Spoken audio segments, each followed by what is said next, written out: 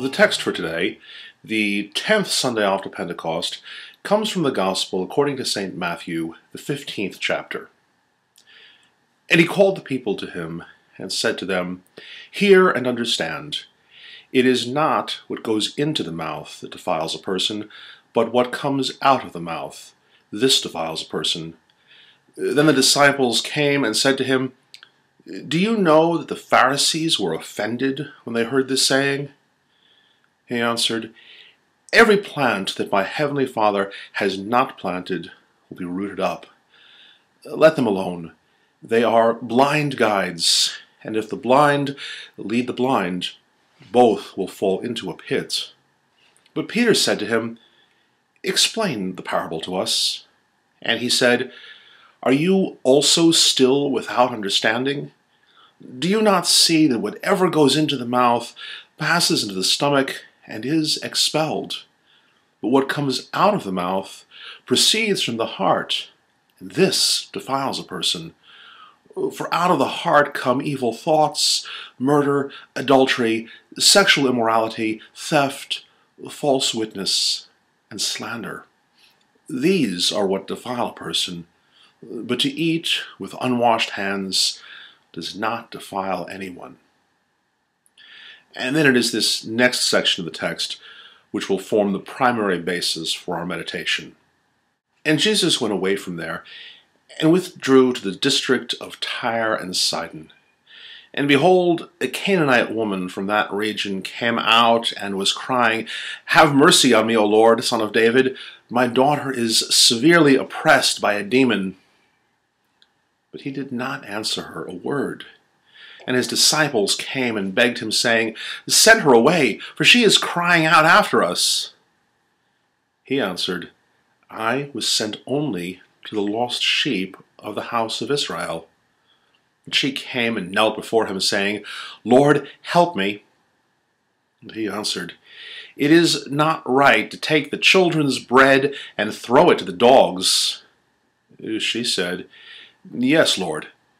Yet even the dogs eat the crumbs that fall from their master's table.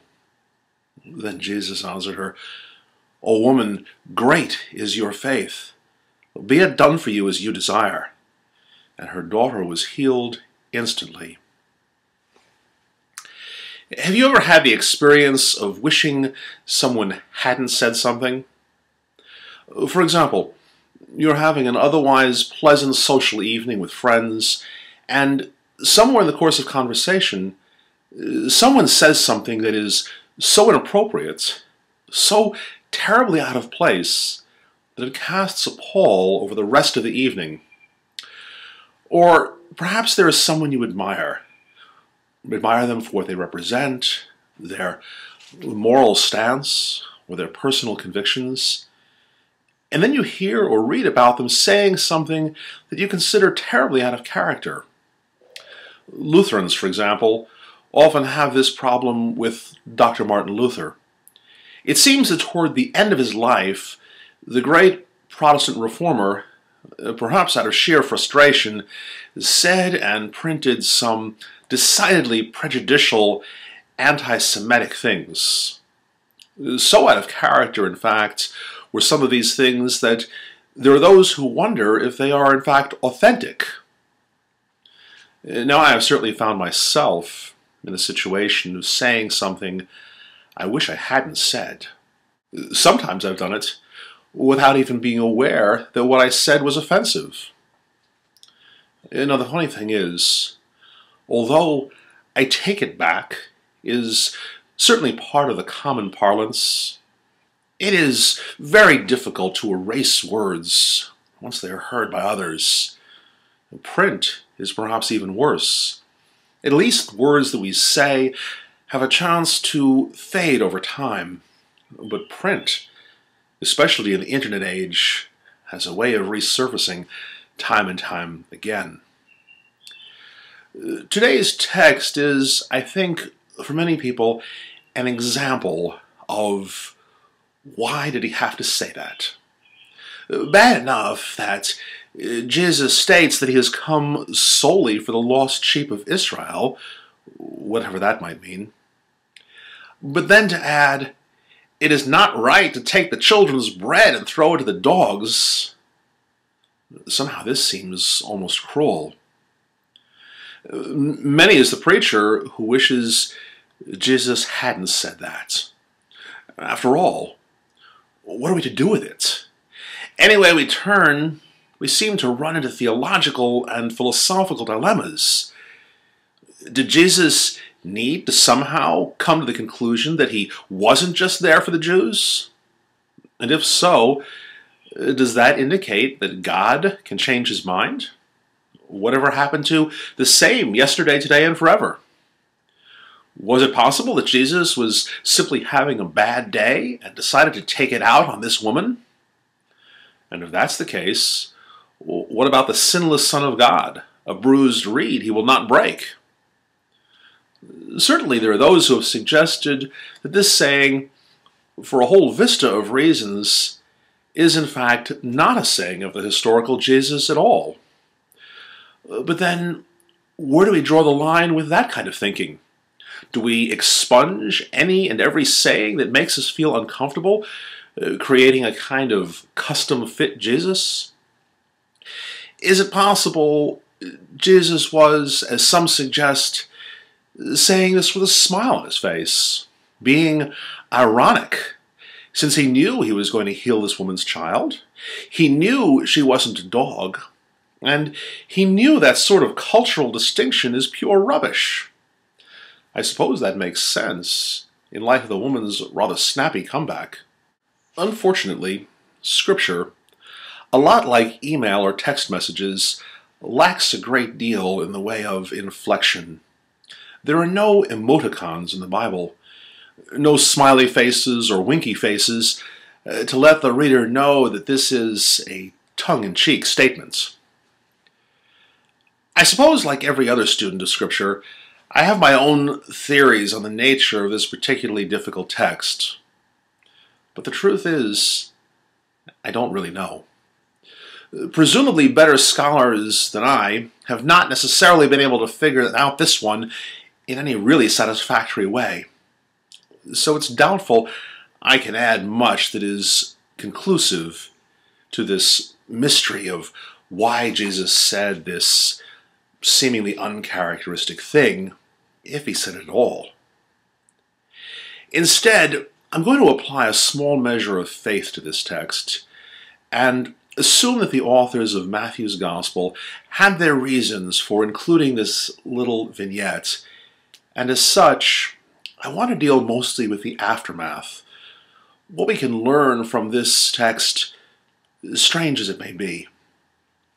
Well, we can't really get inside Jesus' head, so to speak, as he encounters the Canaanite woman, we can see what ensues. Specifically, what happens is what I will refer to as a triple scandal. Let me try to explain. The word scandal is from Greek skandalon or skandalos, and it really means a stumbling block that which causes us to stumble. And that makes sense. Scandal causes us to stumble. We hear about something scandalous and we emotionally or morally trip or stumble. That which we thought was good and right, someone we thought was good and right, somehow now seems to not be so good and not so right. Think of uh, politicians caught in some untoward act, or again, the aforementioned thing that we wish someone hadn't have said. So the first scandal, the first thing that scandalizes, is the appearance of the Canaanite woman. She is calling after Jesus and his disciples. Jesus seems to ignore her.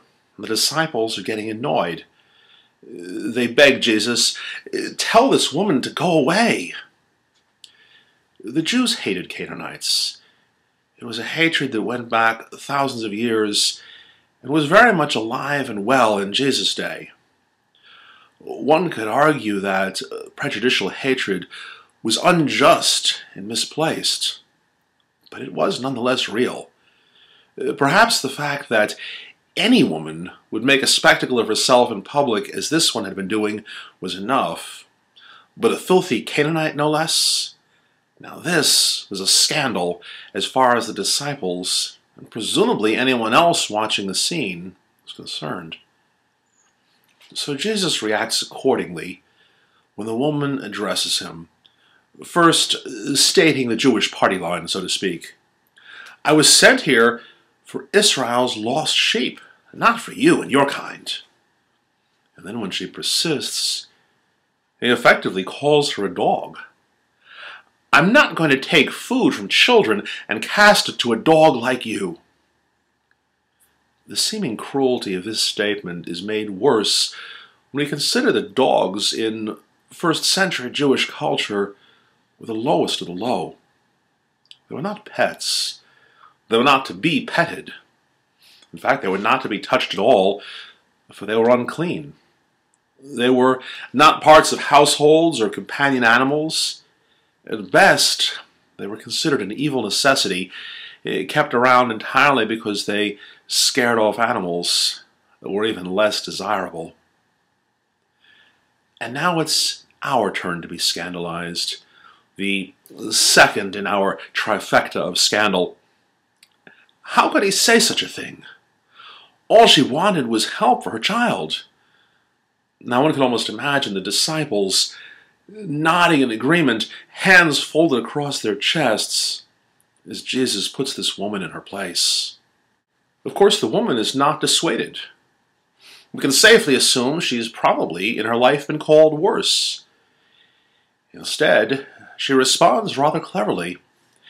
Even the dogs get to eat the crumbs that fall off the table. She almost seems more confident than desperate. The image of Mary at Cana's wedding feast comes to mind. Woman, what has this to do with me? says Jesus. Yet Mary knows he's going to do something to fix things.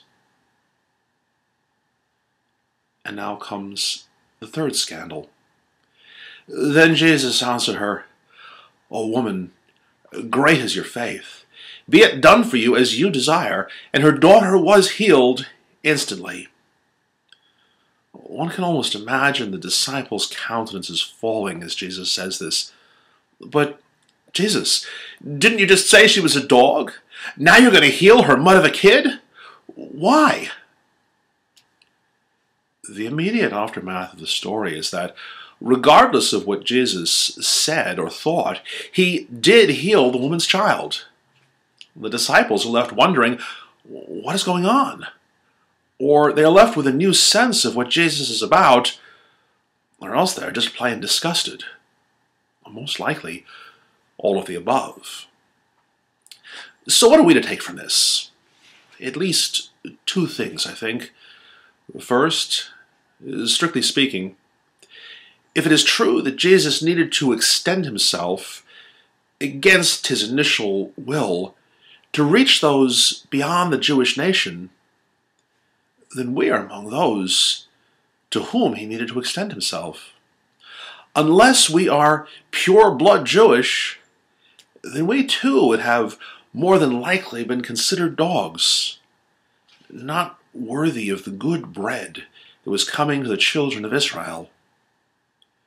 Yet, along with that woman, we may also in confidence say, Yes, I may be a dog, but I can still get some crumbs. And what crumbs God provides healing, new and abundant life, acceptance into His kingdom. And then there's the second thing. Right now, you may be saying, Hey, I'm no dog. And if you recognize that you are a person made in the image of God, part of the body of Christ, in fact, then you are correct.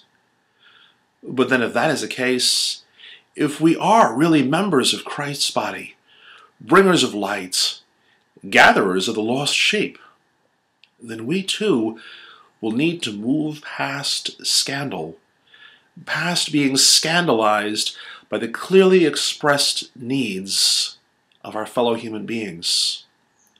Once again, I'm not really going to say whether I think Jesus actually thought so little of this woman and then changed his mind, or if in fact he said what he said for his disciples' benefits, or ours for that matter. But what is abundantly clear is that he transcended the scandal of responding to someone who, by all rights, by all the beliefs and customs of the day, was not worthy of assistance. It's true, she may have been the enemy from time immemorial. She may have been a filthy dog by Jewish standards. But Jesus, nonetheless, granted her the mercy she desired. Now, for us, the body of Christ, we live in a world that increasingly wants us to believe that some people or people groups are dogs, those of other religions, those of other nationalities or political persuasions, enemies and dogs who would just as soon hurt or even kill us.